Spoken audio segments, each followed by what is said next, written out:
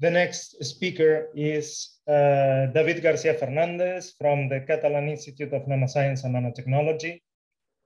Uh, the presentation will be on quantifying the robustness of light transport in photonic nanostructures. David. Thanks a lot, uh, Danny, uh, Daniel, uh, and thanks also for the to, to the organizers, um, especially to, to Sergio. I'm gonna be uh, a little bit of the grumpy guy in this in this session. Um, not, not really. Um, I want to discuss with you uh, what are the general limitations of topological photonics uh, in general, and in particular, I want to address this particular question. Um, if uh, topological photonics really protect light transport from disorder. Uh, if this is the case, uh, I am interested on, on, on how much. This, in my opinion, is a relevant question because in the last few, uh, let's say two, three years, we have uh, experienced a rather intense experimental activity uh, characterizing different implementations of uh, topological uh, photonic waveguides.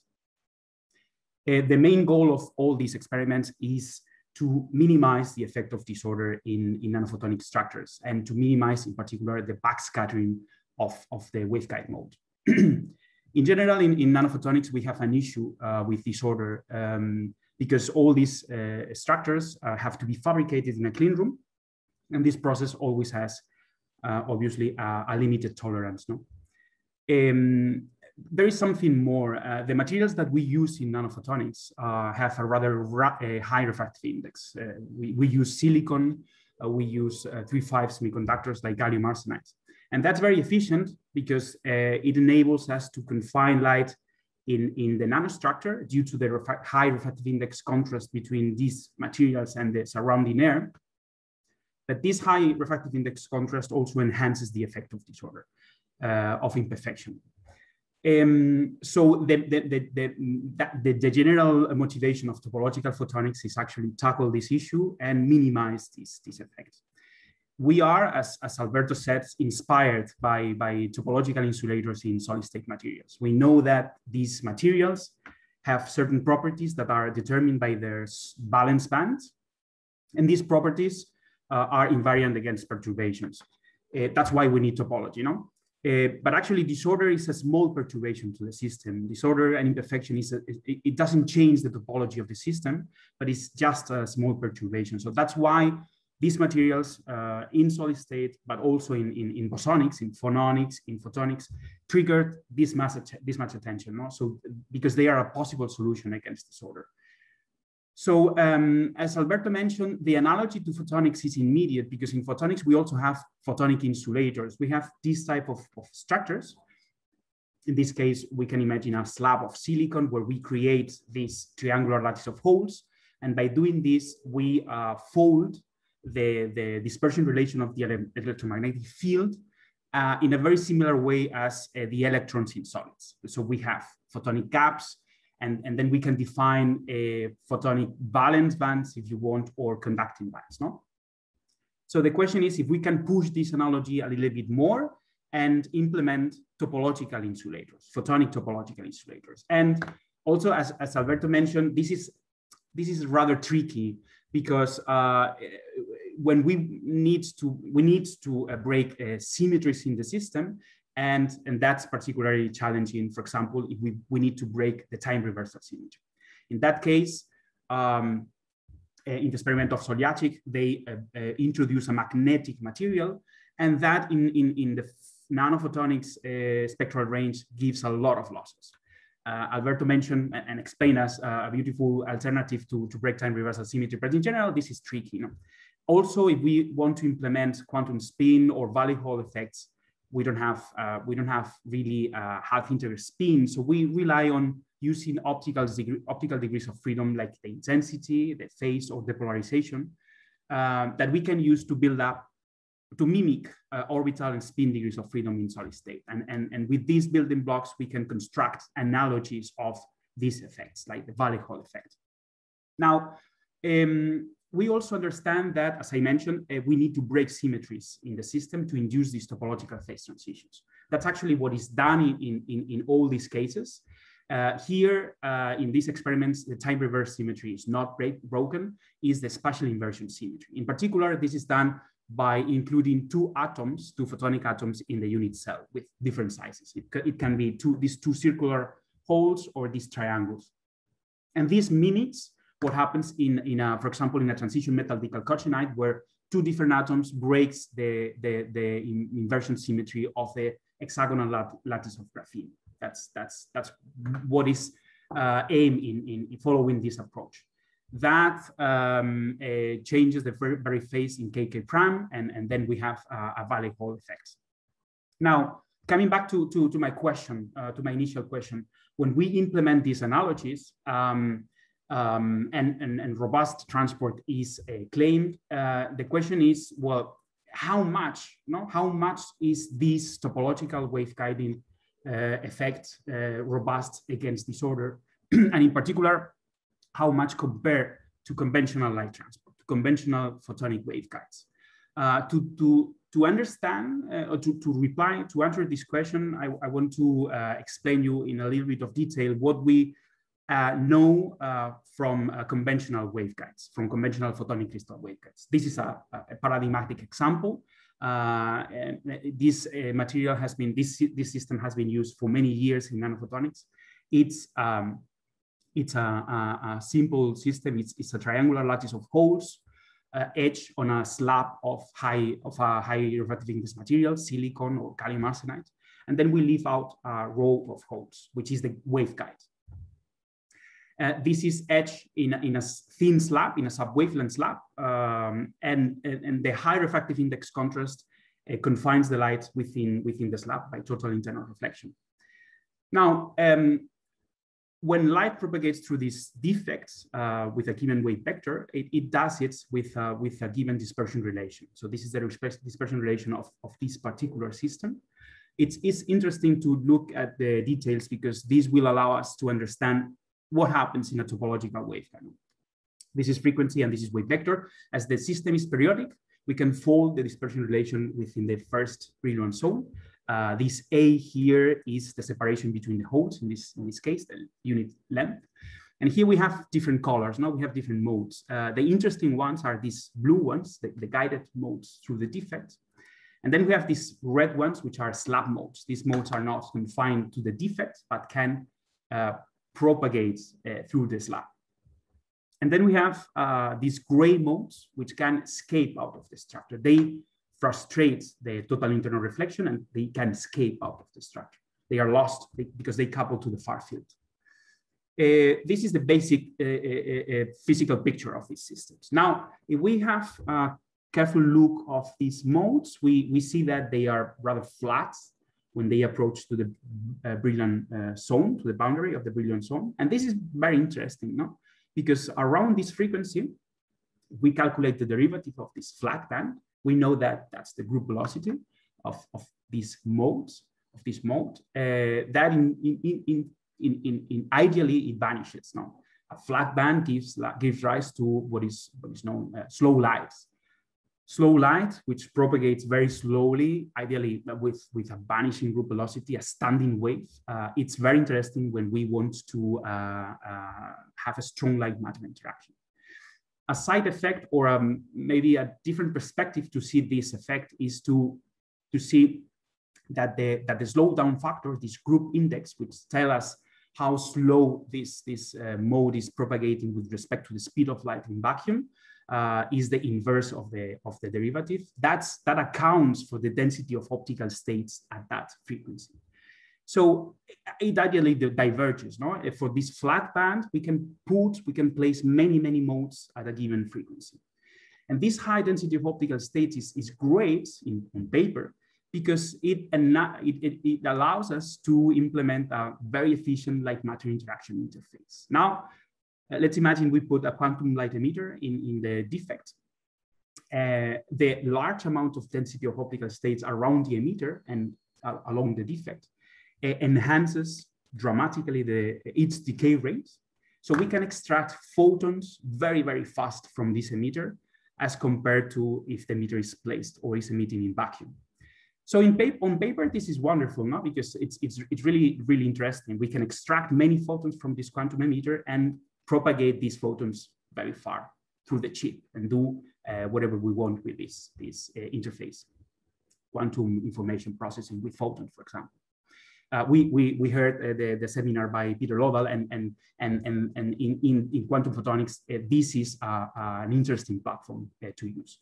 The problem, as I said, the challenge is that we, on paper, we design our system, we go to the clean room, and this uh, is always affected by imperfection. It, it, it's very tiny because we have a very, very good fabrication process, but, but even the, this tiny roughness in the whole uh, shape uh, has a dramatic effect in this particular system. So uh, this is the Bloch mode, which propagates through the perfect lattice, perfect uh, waveguide when we include this tiny effect in the simulation, in a finite difference time domain simulation, we see that we, we have a, a, a interference pattern. So we don't have a propagating mode, we have a, a, an interference pattern where these constructive interference spots are like cavity modes. This obviously is, is, is rather sad because it limits the uh, maximum achievable group index uh, value in these systems. Uh, and more than anything, uh, it prevents us from propagating photons from, from our quantum emitter far away into the chip. Now, um, how can we um, probe this experimentally? So far, I have been showing simulations uh, to give you the physical picture, but, but we can probe this um, with a, a, near field evanescent coupling uh, setup. So we have a fiber loop, we hit a fiber, optical fiber, and we create a loop, and we place it in, in close contact with the, with the waveguide. And then we shine a tunable laser on one of the sides and we measure the transmission.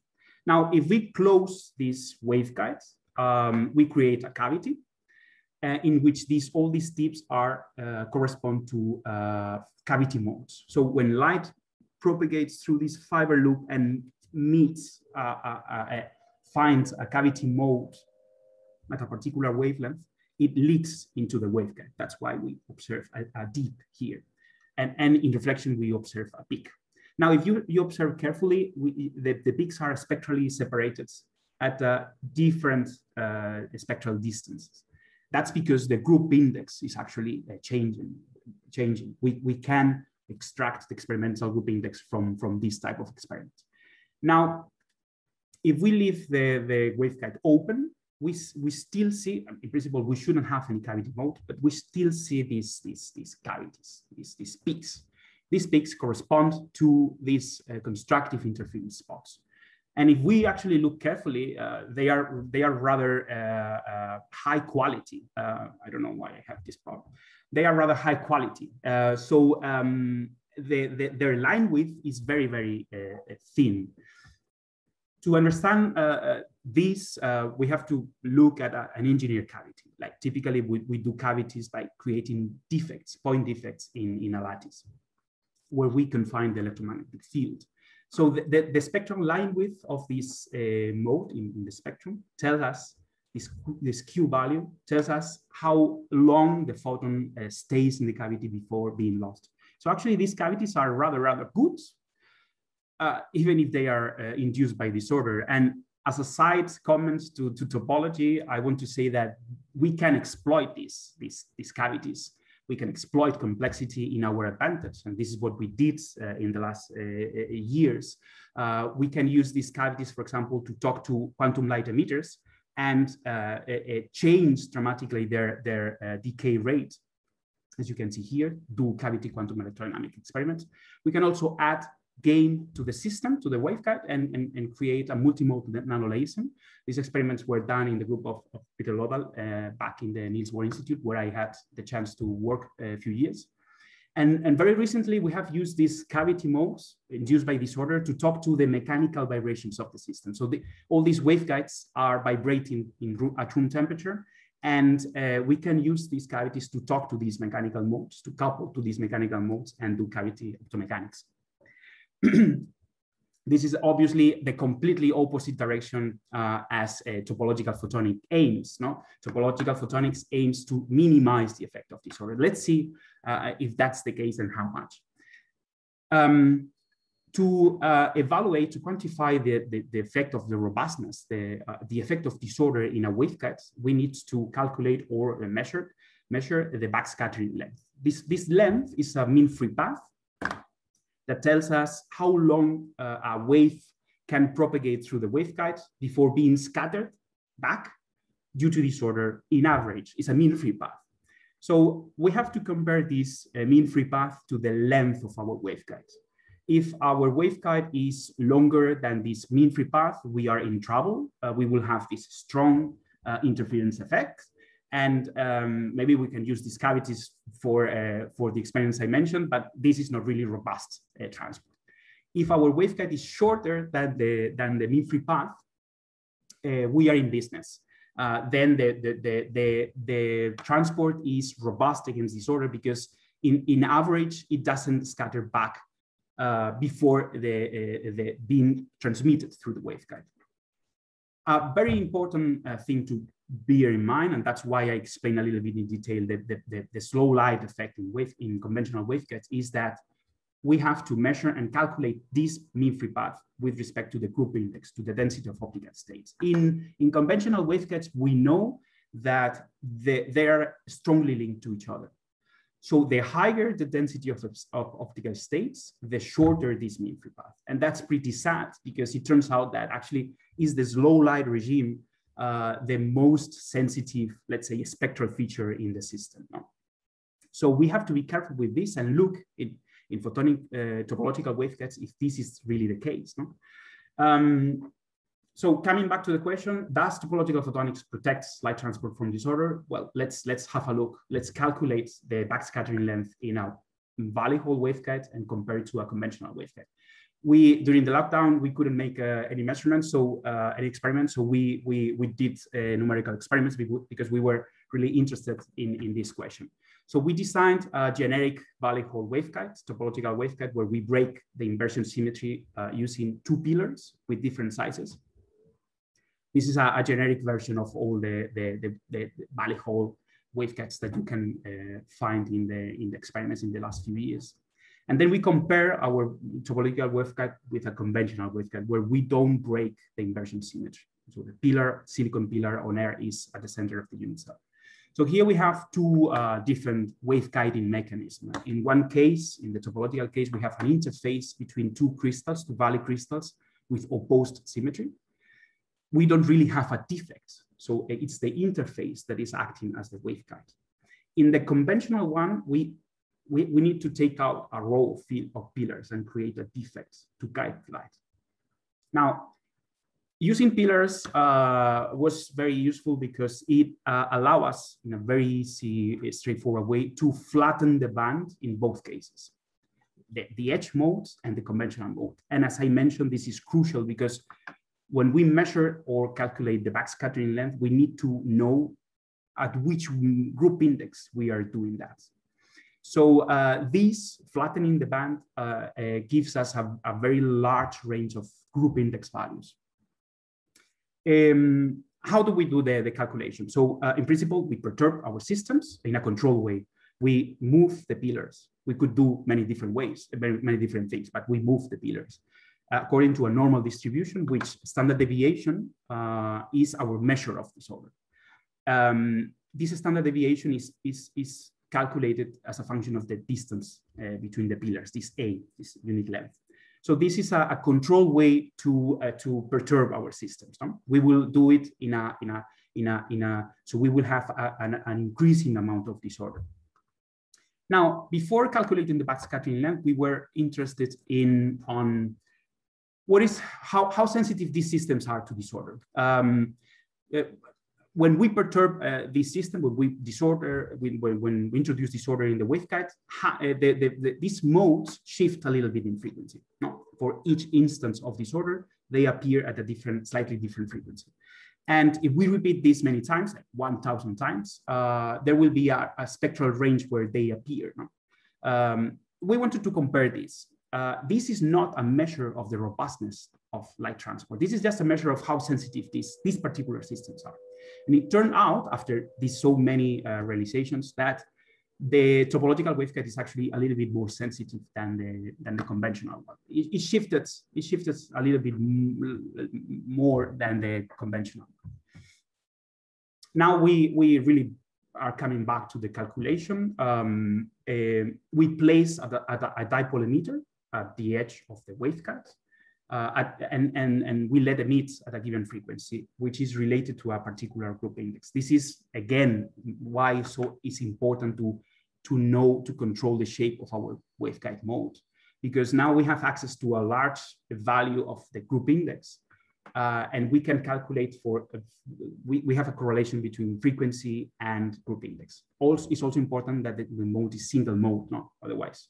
It's not straightforward and then we calculate the, the electromagnetic field excited by this dipole uh, we, we do this, uh, it's a finite element solution of the Maxwell equations, start, uh, put in uh, boundary conditions. We can discuss it later, the details, but we repeat this for the conventional waveguides. We repeat it for um, different values of the group index for the, the um, uh, different amounts of disorder.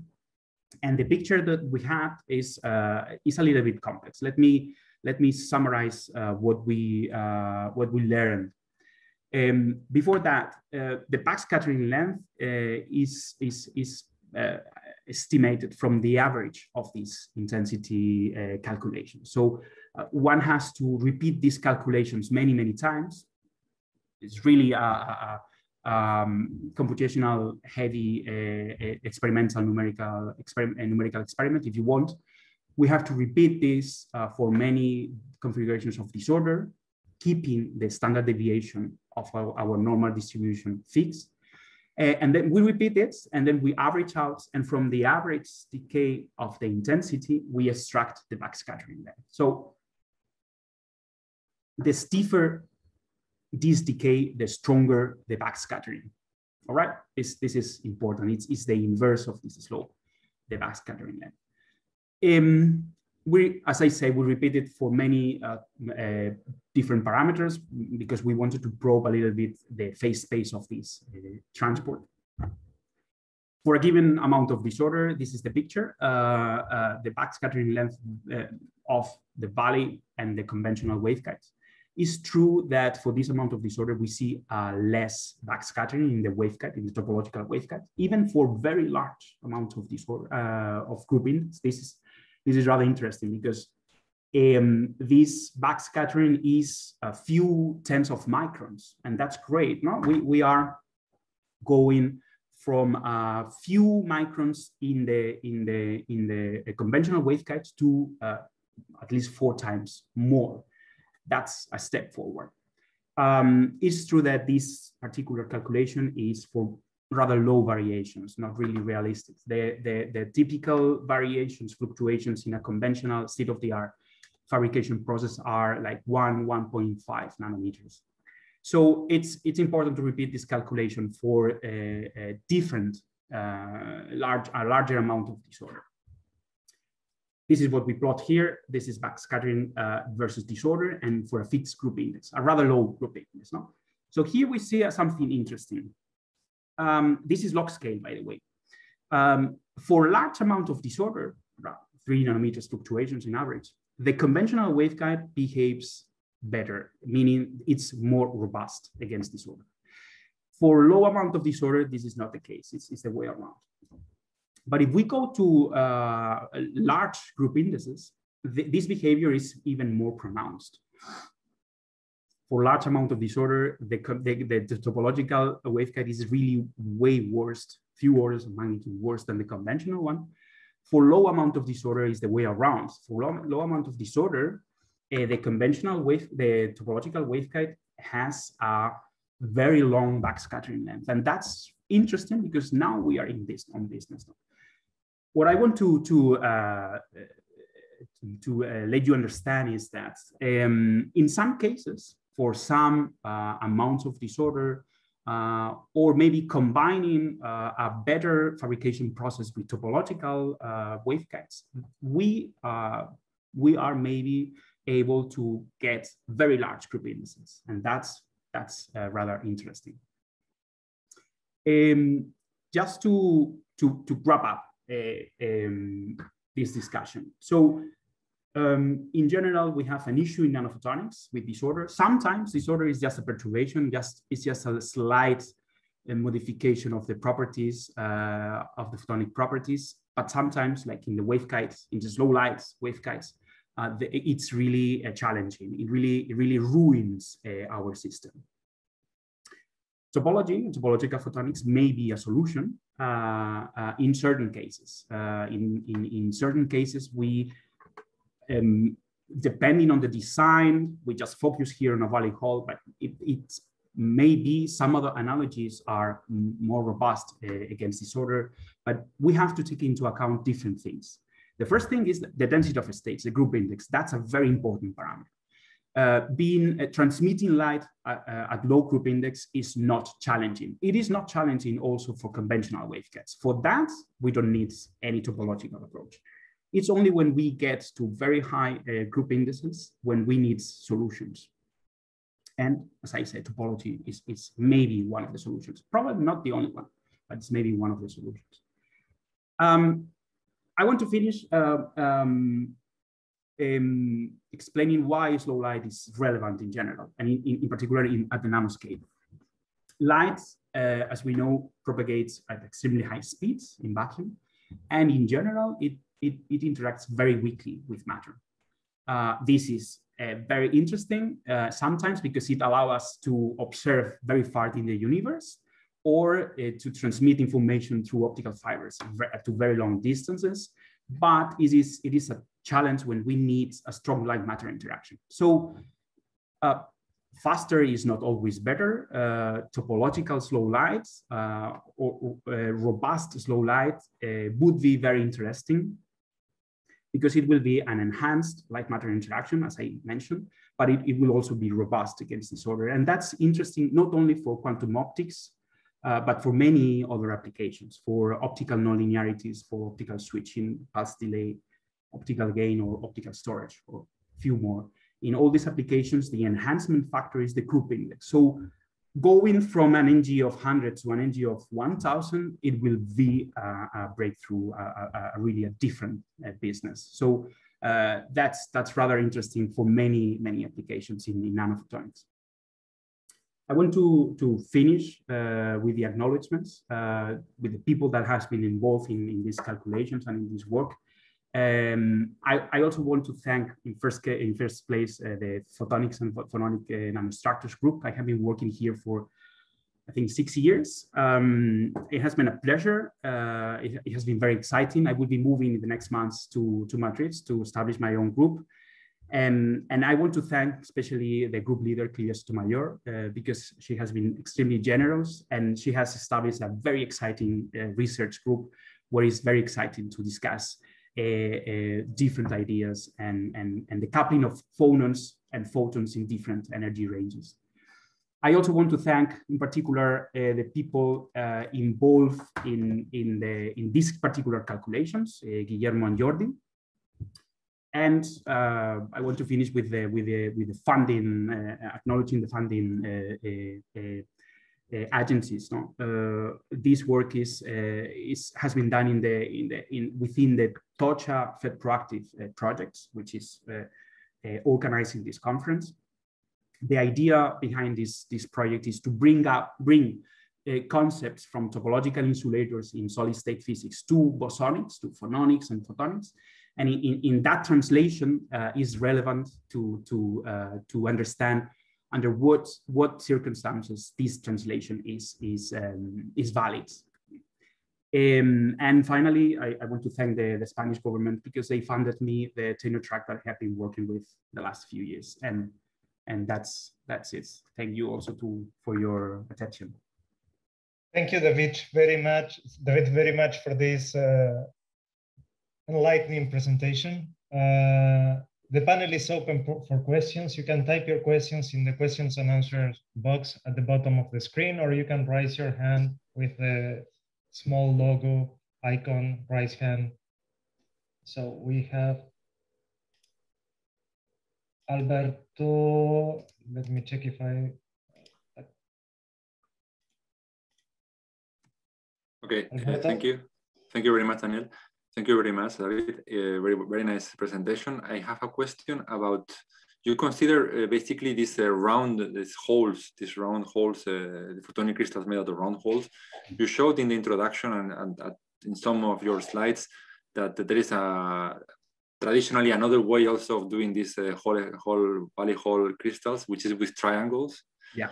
So do you, do, is there, have you uh, explored the, the differences between the two configurations? Is yeah. one more robust than the other or they are equivalent? Uh, that, that that's actually very interesting. No? So the question is actually, um, if different designs or different implementations of the of a Mm, a given analogy like valley Hall would give rise to different backscattering lengths. So the reason why we focus on, on, on round pillars is because it was easy. We tried actually with a slab with, tri with triangular holes to mimic the, the experiment, but it, then it's challenging to flat the, the dispersion relation. We're, we are working on that, but you need to implement optimization algorithms. And that's computing very, very, very, very uh, challenging. Uh, we didn't try it. We didn't try it to change the, the shape of the thing. I, I, I, but I, I, I, I don't really know if it that matters. No, that matters because I, in, in my opinion, what really matters is the group index, and uh, and then I don't know actually. Mm, if a different feature size would give you a more robust uh, valley, uh, minimizing the intervalley scattering, I, I don't know. We didn't try. We didn't try. So if I understand correctly, sorry for the follow-up, is that to get a slow light, the, hmm. the holes is much better, right? The, the, the pillars on air, these calculations were pillars on air. This is not a realistic uh, uh, some, uh, structure, uh, as we know, but pillars on air are a very easy way to flatten the dispersion relation. If you go to a slab silicon slab with holes, with circular holes or with triangles, that's challenging to flatten to flatten the, the edge state. We are working on that. Uh, but for that, you need to take the, the edge state and, uh, and, and, and do a, a, band engineering. And to do that, um, in, three, in a fully 3D calculation is, is computing, computationally uh, heavy uh, it's, it's not straightforward. So um, so so that's the, that's the reason why we used pillars on air for the calculation. Hmm.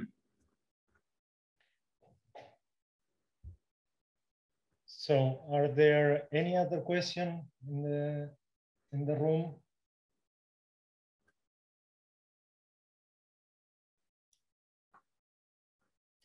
I have a, a one question, uh, Daniel. Yeah, please. Uh, David, thank you for, for this very instructive and, and didactical presentation. Um, for the last part, uh, you, you were discussing uh, um, what is the transmission uh, as a function of disorder for, for a trivial topological valley uh, Hall uh, waveguides. And then you see this transition. these are that in which uh, you you go in which the topological uh, the trivial or the trivial uh, waveguide has a, a, lower transmission and then it goes to large transmission uh, mm-hmm. for high disorder. Yeah. Uh, these are numerical results, right? Yeah. Uh, so do you, do you have an intuition of why this crossover occurs? Hmm. Not really, actually. Um, it seems that uh, well something something that we can observe here is that if you see the conventional waveguide is much more sensitive to the to to to a different to a larger group index. No? Here you, you see how you have a, a stiff backscattering length, which is very dependent on disorder, and that that dependence is really flattened. So at some point, the group, the conventional waveguide, it's really ruined. The, the valley Hall is much more sensitive and keeps that sensitivity uh, for larger group indices. Maybe, I think that maybe it, the, the valley Hall effect is actually uh, working, is working for low amount of disorder. So it prevents uh, the backscattering of, of, of, it introduces some kind of chirality uh, in between the forward and the backscatter uh, waveguide modes. But that, um, that, that uh, chirality is lost at a given point, as we see here. Uh, uh, and in that case, uh, the, the waveguide becomes worst than the conventional one. So there, this, this, this calculation show that there is some kind of protection, actually, some kind of protection, but that protection is lost uh, for a given, uh, for, for large uh, disorder. But, but yeah, we, we don't really know why uh, it becomes really worse. You can you, you could imagine maybe it's maybe it's because uh, how the, the the edge mode is implemented. It's, it's an interface mode maybe um, uh, the fact that you have here holes, I don't know, uh, maybe that it's a larger source of, of scattering than uh, just a pure defects uh, with, with uh, small perturbations. So have you, have you looked at, at the, at the, um, um, the position of the crossover with the group index? It seems that it occurs yeah at the same place or similar yeah it, it, occurs at that we call we call it a critical a degree of, of critical disorder. Yeah. It, it's it's uh, it's around one 1.5 nanometers if you consider 500 nanometers uh, spacing between the holes. Uh, that's we, we we repeated this for different group indices and that is somehow fixed. Maybe this disorder uh, is uh, is determined by the particular implementation of the valley Hall effect. Maybe we change the shapes of the of the triangle, for example, the, the we go for to triangles or different things, different features, that that crossover will change. Yeah, probably. And, and that's, that's interesting actually, because if we push this this crossover to larger group in the uh, larger uh, disorder, then then then that that that that's uh, that's good. That that would be great. Ah, that's perfect. Thanks, David. I think I, there are more more questions. I believe. So, Clivia, you have the microphone. Okay, um, well, thank you, David. I, I, would also suggest that intuitively we have the uh, length scales associated with this disorder also of a fairly local uh, situation in terms of unit cells. And we still do not know how much the variation of the wave functions will be distorted in that length scale comparable, commensurable to the unit cell. So I think we have a quite a challenging work ahead to, to see uh, and compare with uh, simulations, uh, particularly to, to ascertain and test whether the lattice of holes versus the lattice of triangles or otherwise uh, would help to clarify that, whether it's a, a local type of issue, yeah. which is repeated, of course, and consequently amplified, or, or whether it is a, a different reason. Mm. And by the way, thank you for the talk. That was very instructive. Thank you.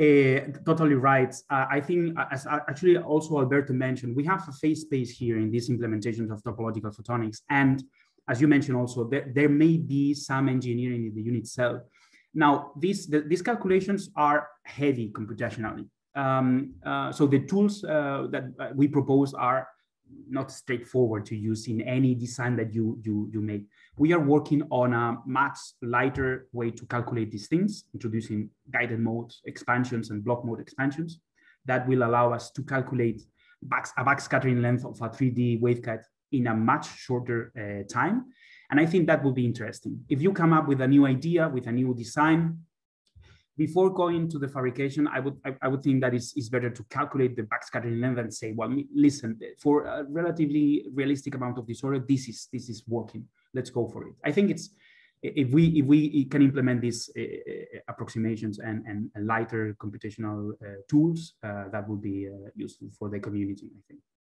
So David, maybe it can be related to the kind of disorders that you are putting in the unit cells, right? Mm. Uh, depending on the kind of disorder, you will alter or not the topological invariance of each one of the unit cells. That's same. That's that's an uh, an interesting question. We we when we were doing this the the the, the calculations, we we thought maybe we, if we make the pillars larger and smaller, but with a fixed position, that would be different. Maybe there are uh, types of disorder that can uh, uh, preserve the the, um, the the the the, the um, valley Hall effect in this case. Mm -hmm. we perturb the size of the pillars, and we didn't see a, a, a, a large difference here. Um, and in general, I would say that would be an interesting academic exercise. But I mean, when you go to the clean rooms, you don't have perfect holes. Totally, totally, totally. So, uh, but but also something relevant is that when you go to the clean room, you have uh, roughness, position, shape, and all these things. But but the effect is as you could you could make a statistical analysis and say, well, the, the effect is as if I had perfect holes moved, no? Because uh, this backscattering is a mean-free path. So uh, what, what is relevant here is to do a statistical analysis. Um, but yeah, that's that's maybe it's maybe interesting. So far, we didn't see any effects. Maybe uh, for different feature sizes or shapes, maybe that's that's that's different. Yeah. Okay. If there is not any urgent question for the full panel, we can thank you again, David, and thank also Alberto for these magnificent talks.